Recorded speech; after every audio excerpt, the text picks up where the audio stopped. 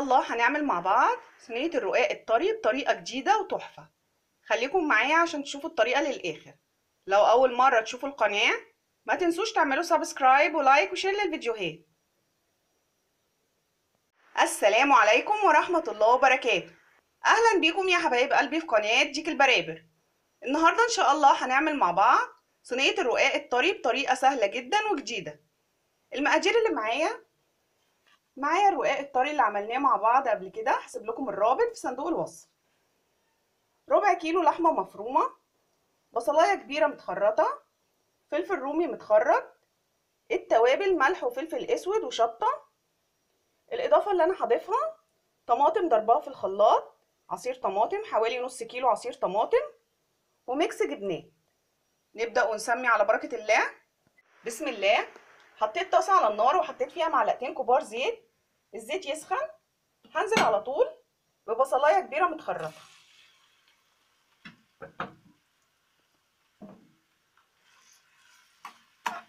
هشوح البصلة لحد ما لونها يبقى شفاف. مش عايزاها تاخد لون. خلاص البصلة بقى لونها شفاف زي ما أنتم شايفين. هنزل عليها بربع كيلو لحمة مفرومة. هقلب اللحمة المفرومة كويس جدا مع البصل.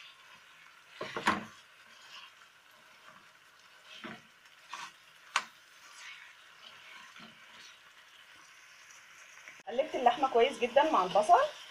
هنزل عليها بالتوابل ملح وفلفل أسود وشطة عشان اللحمة تفرز معايا وما تبقاش مكتلة.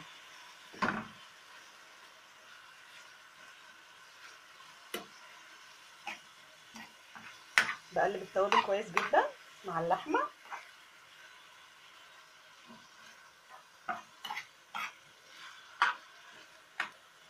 هسيب العصاج يستوى. حوالي خمس دقايق وبيستوى ولون اللحمة بيتغير على طول. بعد خمس دقايق بالظبط اللحمة استوت والعصاج خلاص تمام. شايفين اللحمة مخرزة إزاي؟ عشان ضفت لها الملح والفلفل الاسود في الأول خالص. خلاص هطفي على اللحمة. قبل ما اطفي بدقيقة واحدة هنزل الفلفل الرومي وهديله تقليبة كده مع العصاج عشان أنا مش عايزة الفلفل يدبل. عايزاه يبقى فيه كده قرشة.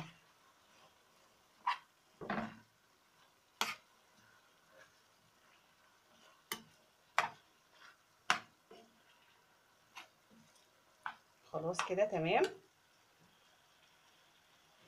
هطفي عليه واسيبه يبرد. حطيت طاسة على النار وحطيت فيها معلقتين كبار زيت. الزيت يسخن. هنزل عليه بمعلقة كبيرة توم مفروم. خلاص الزيت سخن. هنزل عليه بمعلقة كبيرة توم مفروم. هقلب التوم لحد ما ريحته تطلع. مش عايزة التوم ياخد لون عشان ما يمررش. ريحته بس تطلع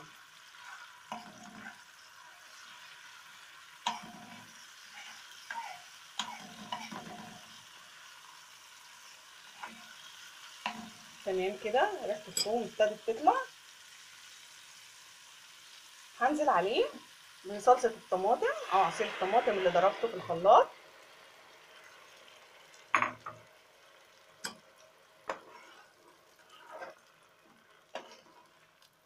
وهبهر الصلصة. ملح وفلفل أسود وتوم باودر ونص معلقة صغيرة زعتر. هقلب كويس. وأسيب الصلصة تتسبك كويس جدا. أنا عايزاها تقيلة. خلاص الصلصة قربت تتسبك. هنزل عليها برشة سكر نص معلقة صغيرة سكر. هقلب كويس. بس عشان توازن الطعم. وأسيب الصلصة تكمل تسبيك. خلاص الصلصة اتسبكت. تمام كده. هطفي عليها ونجمع مع بعض صينية الرقاق. معايا الرقاق الطري والعصاج والصلصة اللي سبكناها. هنجمع مع بعض الصينية. بسم الله. أول حاجة هحط صلصة في الصينية قبل ما أرص الرقاق.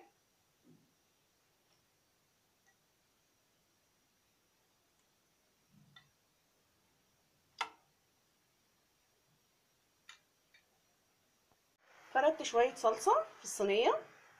هنلف مع بعض الرقاق. هلف الرقاق زي الرول. هحشيه بالعصاك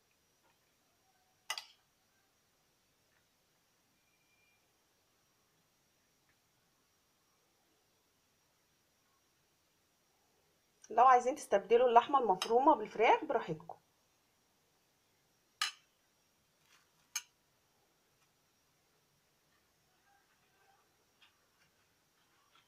بلف رول كده وبرصه في الصينية.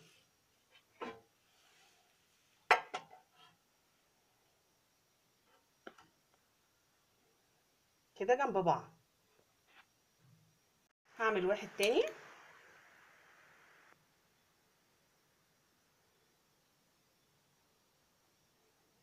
زي ما أنتم شايفين.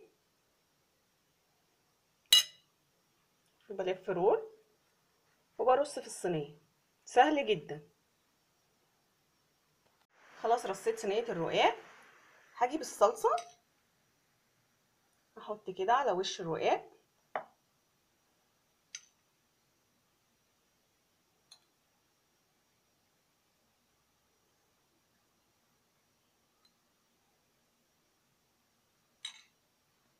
شايفين الجمال. معايا ميكس جبنات أو جبنة موتزاريلا ولو ما فيش ممكن ندخلها على كده. برش الجبنة على الوش.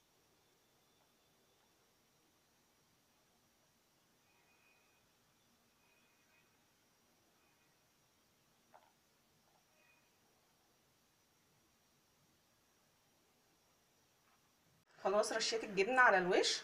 هدخل الصينية في الفرن على الشواية لحد ما تسيح الجبن وتاخد لون. أول ما تسيح الجبن وتاخد لون هطلعها على طول وأوريها لكم. أهو يا حبايب قلبي صينية الرقاق بعد ما طلعت من الفرن. بصوا شكلها جميل وتحفة إزاي؟ وتفتح النفس. هسيب لكم المقادير كلها في صندوق الوصف. لو عجبتكم طريقة عمل صينية الرقاق الطري ما تنسوش تعملوا لايك للفيديو واشتراك في قناة ديك البرابر. أشوفكم في فيديوهات تانية. سلام.